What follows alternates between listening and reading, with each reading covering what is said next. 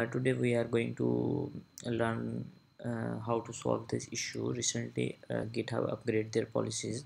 So uh, they have removed the password authentication um, from 13 August. So uh, when you enter uh, your username and password you will got this error on your screen. So let's uh, go on the stack overflow for the solution so first of all you need to create a personal access token on the github. So there's a way uh, from github account you need to go on the settings and then developer settings and uh, you have to generate the personal access to uh, token. So let's do that here. So we can move on the settings. Now you can see here um, the developer setting on your account. Click on the personal access token now uh, we can generate a token for a single repository or for a multiple repository. So just uh, I'm uh, doing it just for testing. Let's call it for testing.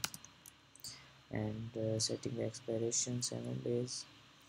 And uh, we can select the permissions uh, which permissions we are going to allow to this token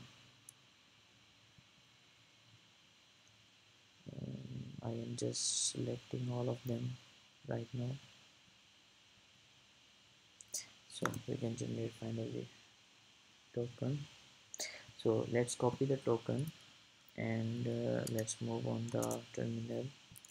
Uh, let me uh, show you first to pull by my from my password. So you will see I got the error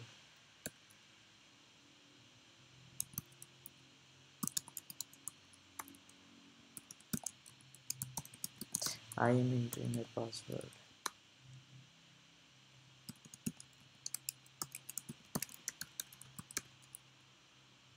See uh, now I got the issue. So let's try with the token. Uh, enter the username. And now I am going to paste the token here. So let's enter. So you can see uh, it's showing me already uploaded. So it's finally working. Thank you so much for being here